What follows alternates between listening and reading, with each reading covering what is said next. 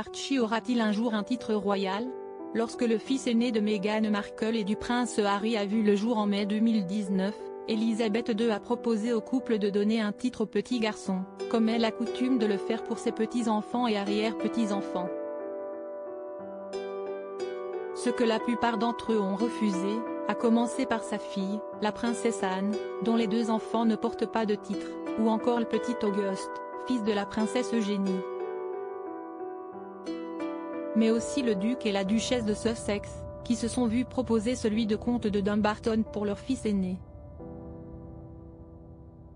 Et qu'ils n'ont pas accepté pour une raison étonnante, mais qui a son explication.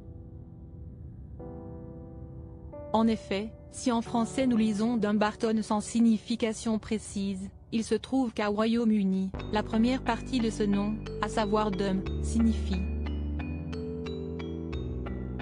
idiot. Il n'aimait pas l'idée qu'Archie soit appelé le comte de Dumbarton parce que cela commençait par le mot stupide.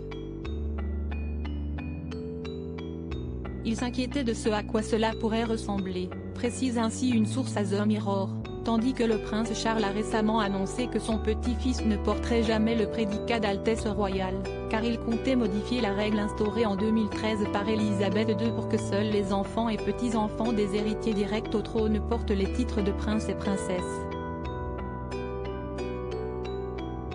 Archie peut-il porter un titre royal?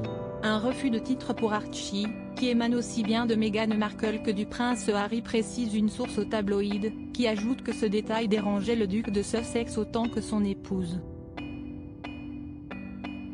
Toutefois, si cette dernière n'attache pas forcément d'importance aux titres royaux, elle avait demandé à ce que son fils porte un titre de prince, et ce pour disposer de son propre service de sécurité.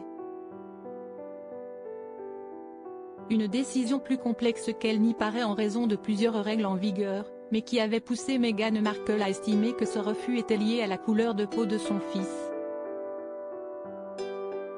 Quoi qu'il en soit, s'il ne sera jamais prince, le petit Archie devrait à la mort de son père hériter du titre de duc de Sussex.